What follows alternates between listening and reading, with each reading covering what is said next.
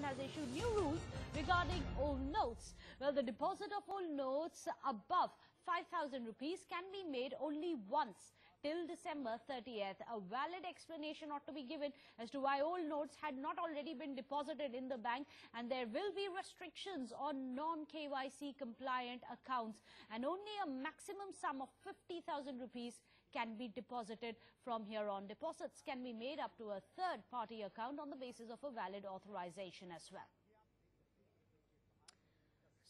So there you have it. There are more rules which are coming in for demonetization by the government. It is an evolving policy of the government.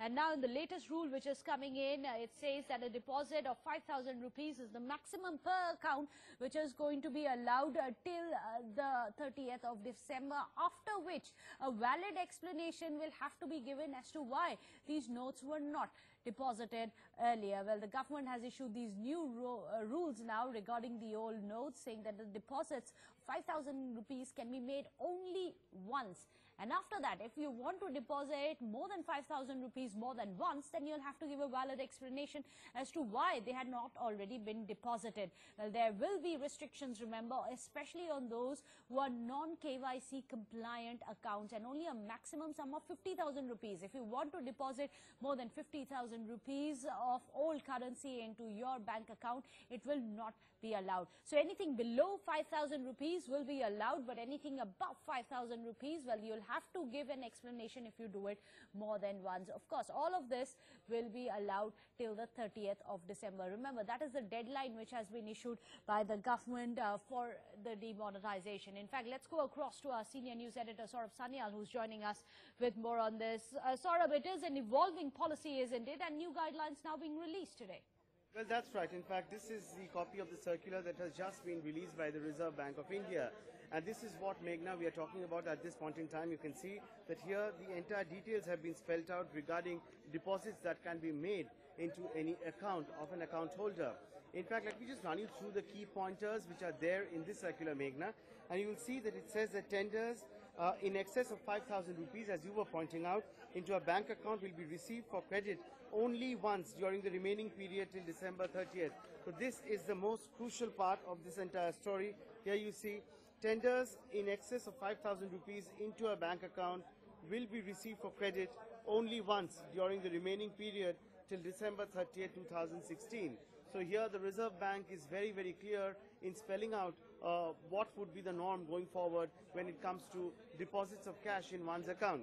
The circular Meghna further goes to say that the credit in such cases shall be afforded only after questioning tenderer on record. So which means this is a move yet again by the Reserve Bank to ensure that there is full transparency in the system because here it says that the tenderer who is going to deposit the money may be questioned if this exceeds this particular amount.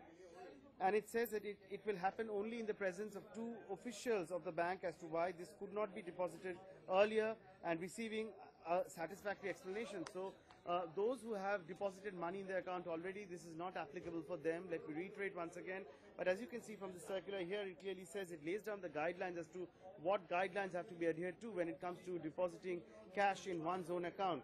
While uh, you, you have to now go and explain in case you have more than 5,000 rupee currency notes, you have to go and explain in the presence of bank officials, you have to give them an explanation as to why uh, uh, you know you still could not deposit this money and why you had held back to this money which you now want to deposit in your account. So uh, you know clearly the RBI tightening its noose once again around depositors and here let's just uh, run through what are the other salient points over here.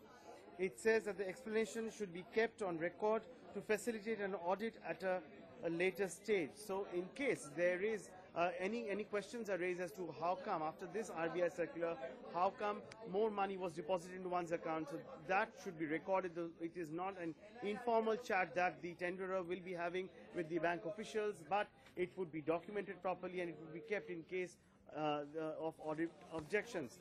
So an appropriate flag should also be raised uh, to the CBS to that effect so that no more tenders are allowed. So the RBI tightening its noose, uh, you know, very, very strongly. So people who had Absolutely. thought that they would, uh, you know, uh, go to the banks uh, till December 30th and deposit old currency notes, this indeed has come as a shocker from them, Meghna. And in fact, this also goes on to talk about uh, tenders of up to 5,000 rupees in value received across the counter will be allowed to be credited to bank accounts in normal course until December 30th. Even when tenders smaller than 5,000 rupee are made in an account and such tenders taken together on cumulative basis Right. exceed 5,000, they may be subject to the procedure to be followed in case of tenders Right. above 5,000. So the Reserve Bank of India spelling out. Well, in fact, uh, we'll just come back to you. Thank you so much, Saurabh, coming in.